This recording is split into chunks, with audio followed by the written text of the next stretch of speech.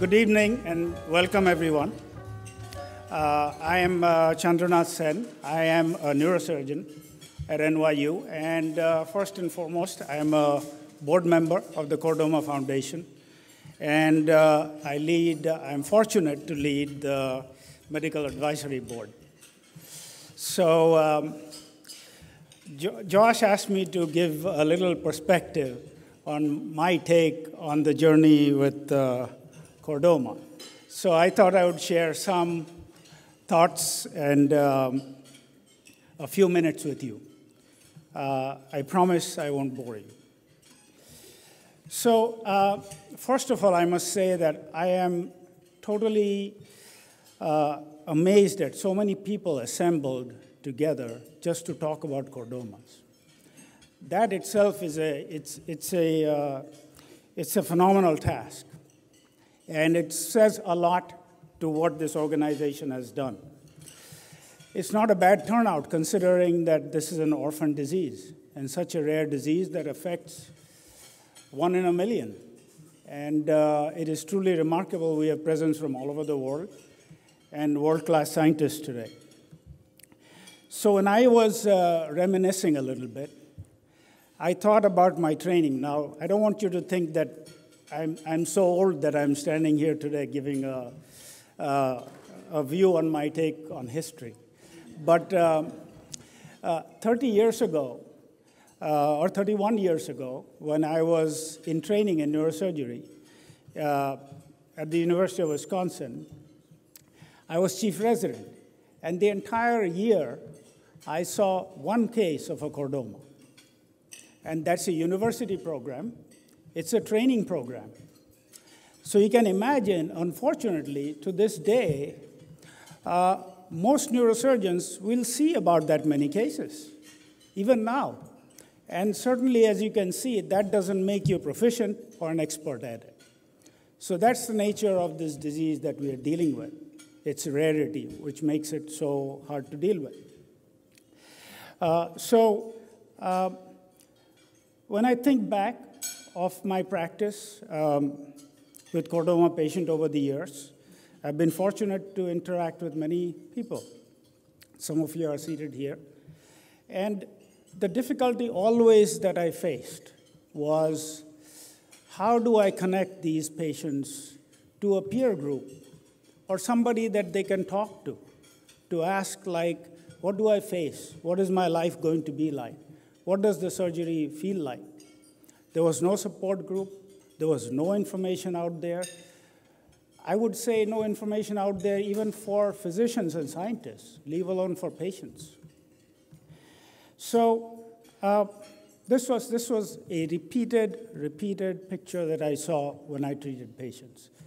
I can always give my perspective on it, but the patient feels most comfortable when they sit with their peer group and, and find out and talk to them. How are you feeling? What do I do if this happens? Who do I ask? Nothing like that existed. Even it didn't even exist that there was a concept that things have to be treated in a cohesive manner by multiple disciplines, by different physicians. So that was not even at that time felt. I mean, I remember working with uh, Dr. Liebsch, and I, would, I was at the University of Pittsburgh those days, and I would send the patient all the way there for treatment because no other proton therapy center existed. The next one that came up online was in Loma Linda in California. So that's how difficult it was for any of you who may have faced the disease in those days. So, you know, another good thing I've uh, seen in my life um, because of this type of practice that every patient has left a mark in my mind and their life. So it's become a part of my life. In fact, I can remember probably most of my patients by face, if not always by name.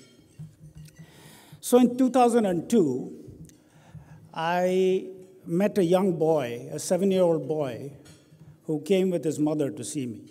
She came he came a long distance, and he had a clival chordoma. And um, I was very impressed by this young man. Uh, I, in fact, I'd never met or seen somebody of his like. So he's only seven. Um, he left an indelible impression on my mind. He was so grown up and so mature about it.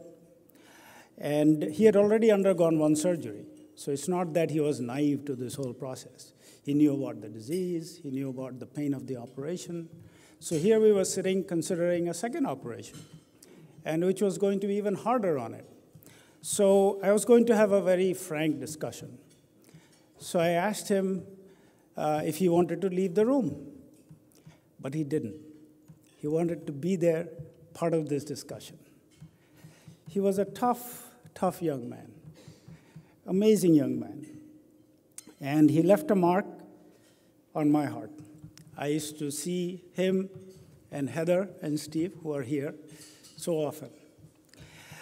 Unfortunately, the poor guy, uh, after multiple operations and radiation and chemotherapy and the pain of all this, uh, got beaten by this tumor.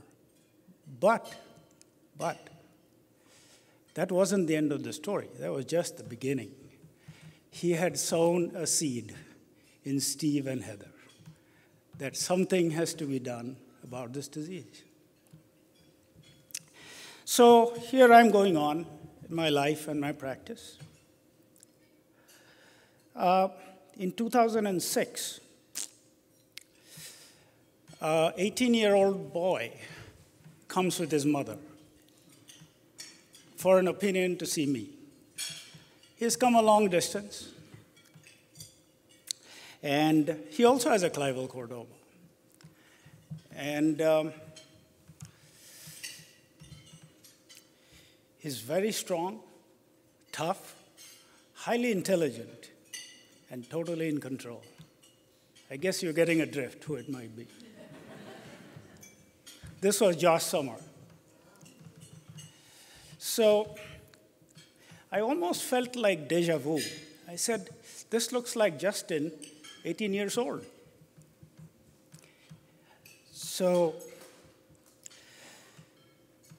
he did well, fortunately. Then Josh, his mother, Heather, Steve, and a few others got together. And that was the beginning of the Chordoma Foundation.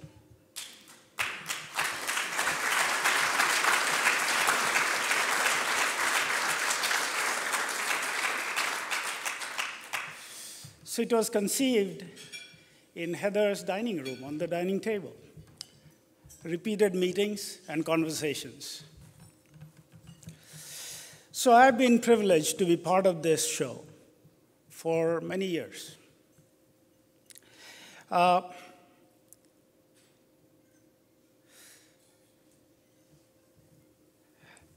I think that it would be a, an understatement for me to say that the Chordoma Foundation has tackled the bull by the horn. It has really addressed this topic so systematically and so methodically, starting with what makes this cell tick? Why is this cell the way it is? And then now we are getting to the point of what shall we do to treat it? That's quite a progression if you think that it only started 10 years ago. And I've been in this business for 31 years now. Uh, they've created an outstanding website that if you look at it, and it is an access, thank God everybody has access to computers these days. No patient has to feel like an orphan anymore, like they used to feel those days. They don't have to feel like they're alone swimming in this uncharted water with nobody to guide them, nobody to hold their hand, and nobody to commiserate with. That is totally not the case now. Huge difference in a 30 year, in a 10 year time period. I don't even want to think 30 years. This year, we are starting clinical trials. So you heard from Mr. Beckman who said obviously needs lots of support, lots of money, but a lot of guidance to take it in the right direction. Not a penny gets wasted in this foundation. I'll tell you that having been part of this thing. Every bit of it goes miles, goes a long way. This is an extremely well run, well thought out organization. I have worked with enough professional people in my years that I can tell you this is a group to bet on. This is a horse to bet on. The last two days you have seen tremendous amount of science.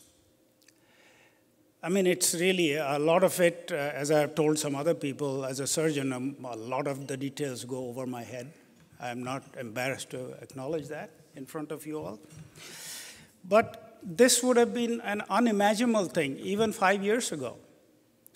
So just look at you, those who are patients in this room, that you have hope, you have something to look forward to. There is something happening. Every, every year when we have these discussions and meetings, it's very, very impressive the quantum jump each year takes at what we are thinking, what we are talking about, what we know, and what there is to know, and what we don't know. So Josh has been the heart and soul of this organization, but you know he cannot do it. Just the heart and soul cannot live, right? So we need all the other parts of the body. Same thing. He has had an amazing group of die-hard stalwarts. I'm not even going to begin to name them because I feel I will offend people by leaving some out. But I, needless to say, they have been amazing. I know almost all of them, except for some of the new people in the organization. But I will tell you, each one of them devotes uh, a lot of energy and time and heart to it. But it all comes to the leader, right? The leader sets the tone, the lead drummer sets the rhythm. And that's what Josh is. His passion and enthusiasm is infectious. One phone call you get from him, and he say yes before you know even what you said yesterday. Happened to me a few times. Then I start thinking, oh, God, what did I say? so maybe I'll take it back or do something else. But you can't say no to Josh. He's a single handed uh, juggernaut. and everything he touches, he can do it. I've, I've never met somebody like that. You know, I, I, when I talk to my patients, I deal with my patients, I say I learn as much from my patients as they get from me. So it's really a two way street. Same thing goes with Josh. You know, he is he's infectious. I've learned so much from him.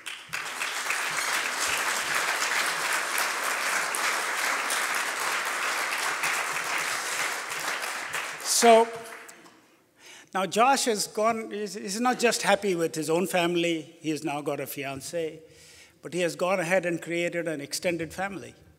And that's what we are all today here. So it's truly been a privilege for me to be part of this, a small part of this thing, but it's been an amazing journey, a rocket ship. So I'm not going to delay. I'll introduce Josh Sommer to you. You all know him.